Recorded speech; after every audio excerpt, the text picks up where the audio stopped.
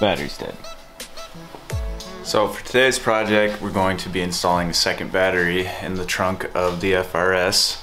It's mainly going to be for all the extra electronics that we're running, not just for the subs. And this is what we're installing today. The XS Power XP750 secondary battery. It's mainly for audio, but we're gonna be using it more for all the lighting and accessories that we're gonna be running, plus the AirRide setup.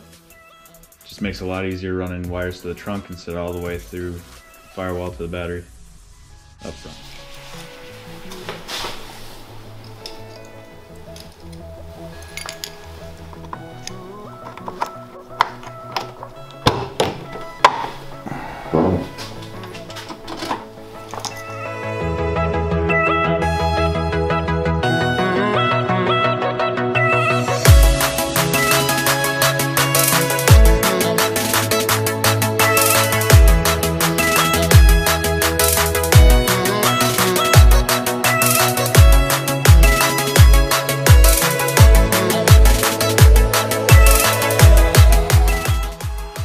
So this is where the battery is going to be mounted.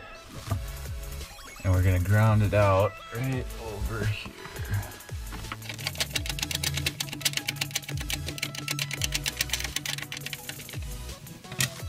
The supplied battery cable.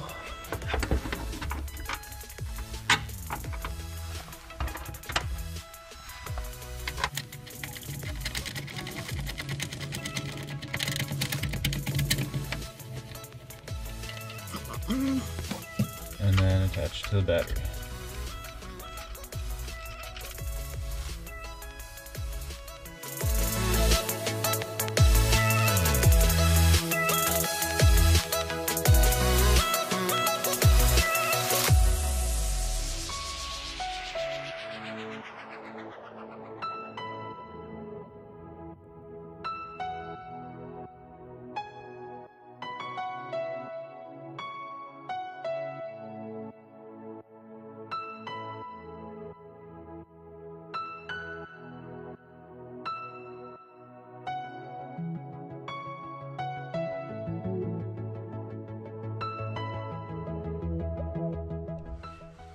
That is it.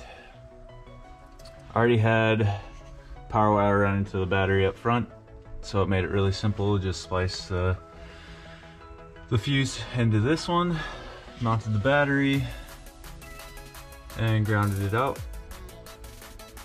And that's that.